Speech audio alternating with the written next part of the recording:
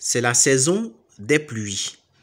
Les inondations et les éboulements se font de plus en plus récurrents dans la capitale économique ivoirienne à Abidjan.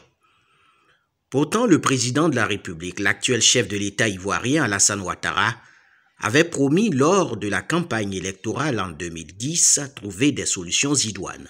Fondamentalement, l'État n'est pas géré. Il y a eu des décaissements de la Banque mondiale pour assainir la ville. Ça fait un mois ou deux et puis après c'est reparti. Quand il pleut, des inondations partout. Pourtant on fait des travaux et trois mois après ça ne marche pas.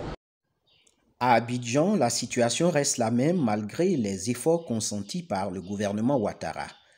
Les populations inquiètes interpellent le Premier ministre Patrick Hachi et son gouvernement en vue de trouver des solutions idoines pour le bonheur de tous.